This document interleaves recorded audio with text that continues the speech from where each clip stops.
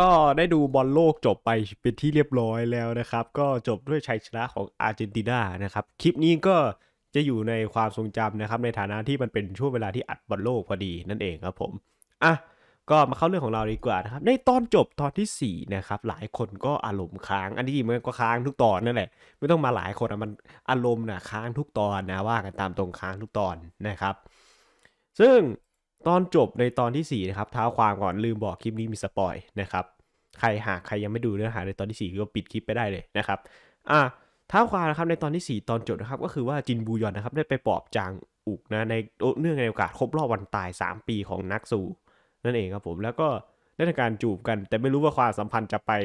เออเกินเลยถึงขนาดที่เราจินตนาการกันไว้หรือเปล่า แต่ผมว่าน่าจะไม่นะครับ น่าจะไม่ น่าจะไม่ แต่ใครเชียร์ไปทางนั้นก็แล้วแต่นะครับ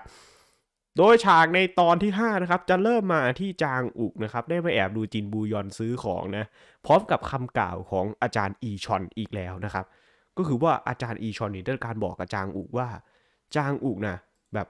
พยายามที่จะไม่ให้จินบูยอนนะเกี่ยวข้องกับทางนักสู่แต่ก็ไม่ไหวครับต้องเกี่ยวข้องกันจนได้ เพราะว่า จางอุกได้ไปพาตัวจินบูยอนใช่ไหมมาจากทางจินโฮคยองที่พยายามซ่อนตัวนางนั่นเองครับผม ซึ่งเราก็จะได้เห็นฉากนะครับที่อาจารย์อุกนั้นได้พบกับอาจารย์อีไม่รู้ว่า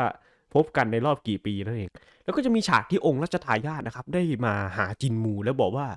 ให้องค์ให้ให้ทางจินมูนะหยุดแผนการพวกนี้เสียเถิด เพราะว่าเหมือนกับองค์รัชทายาทก็จะรู้แผนการของมเหสีนะครับ แล้วก็คนที่อยู่เบื้องหลังก็น่าจะเป็นจินมูนี่แหละนะ ซึ่งอันนี้จริงนะครับองค์รัชทายาทนี่ถ้าเกิดมาอยากจะหยุดจริงๆ มันควรจะจับไอ้จินมูตั้งแต่ภาคแรกไปเข้าคุกเสียได้ตอนนั้นเลยนั่นเองครับผม แต่ว่าจินมูนะครับเหมือนจะรู้บอกว่า ถ้าเกิดว่าองค์รัชทายาทต้องการให้กระหม่อมหยุดแล้วก็ องค์รัชทายาทจะไปทูลกับจางอุว่าอย่างไร เพราะว่าจินมูนะได้วางแผนใช่ไหมในภาคหนึ่งที่ทำให้นักสู้เกิดคุ้มข้างขึ้นมา แล้วองค์รัชทายาทมีส่วนช่วยด้วยนะครับเพราะว่าองค์รัชทายาทนั้นปล่อยจินมูไปนั่นเองครับผม ซึ่ง ฉากแบบนี้นะครับ ฉากอองค์รัชทายาทกับจินมูนะครับ ผมเดาตอนจบไว้เลยใครที่ดูซีรีส์มาเยอะๆนะครับ ก็อาจจะเดาได้ว่า เออ ยังไงซะจินมูจะต้องตายด้วยฝีมือขององค์รัชทายาทอย่างแน่นอนมันนี้ไม่ได้เป็นการสปอยครับ เป็นการเดาที่อาศัยหลักการทางอาศัยหลักการทางประวัติศาสตร์นะครับ ที่เคยมีเรื่องมาแนวแนวนี้และสุดท้ายมันก็จบอย่างนี้ทุกเรื่องนะครับ แล้วก็จะเป็นฉากที่ซอยุลนะครับได้มาหา เหมือนกับว่าพี่แกเห็นภาพหลอนหรือเปล่าไม่มั่นใจครับ ที่เป็นภาพหลอนของทางมูด็อกนะที่กำลังไล่ทำการฆ่าคนอยู่นั่นเองครับผม ซึ่งซอยุลนะครับก็ได้เจ็บหัวใจอีกครั้งหนึ่งนะครับ ชาวเน็ต ชาวเน็ตหลายๆ คนก็เดาๆกันไว้นะครับ บอกว่าซอยุลนี่แหละน่าจะเป็นผู้โชคร้ายนะครับ อาจจะต้อง rest in peace ไปโดยปริยายนั่นเองครับผมในตอนจบซีซั่นนี้นะซึ่งจินบูยอนนะครับก็ได้เห็นทางซอยุนนั้นเกิดร้องไห้ขึ้นมานั่นเอง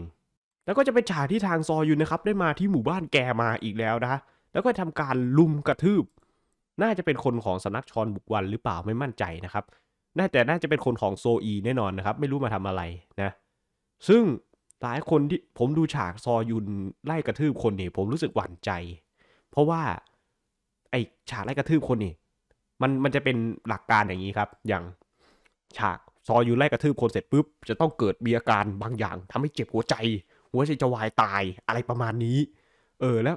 ในจังหวะที่ซอยุนเจ็บหัวใจอะก็จะโดนลูกน้องที่เป็นตัวกระต่อยต่อยเสือกลุเสือกชนะได้แบบง่าย ๆ อะไรประมาณนี้นั่นเองครับผม ซึ่งฉากแบบนี้หลายเรื่องมันเล่นนะ ผมกลัวว่าเรื่องนี้มันก็จะเล่นตาม ซึ่งผมก็ว่าน่าจะเป็นอย่างนั้นใครที่เชียร์ซอยุนนะครับทำใจล่วงหน้าไว้รอเลยนะแล้วก็จะเป็นฉากนะครับที่จางอุกนะกับทางจินบูยอนนะครับได้มี moment กันอีกแล้วนะครับก็คือจินบูยอนนะครับได้ทำท่าเหมือนกับมูด็อกเลย บอกว่าตอนนี้เราห่างกันเพียงแค่ไอ จับมืออะไรประมาณนี้ใช่ไหมแล้วก็จบการ preview แต่เพียงเท่านี้ครับอ่าหากชอบคลิปนี้ก็อย่าลืมกดไลค์กดแชร์กด subscribe และอย่าลืมกดกระดิ่งแจ้งเตือนกันด้วยนะครับคิดน่าจะเป็นอย่างไรโปรดติดตามกันด้วยนะครับ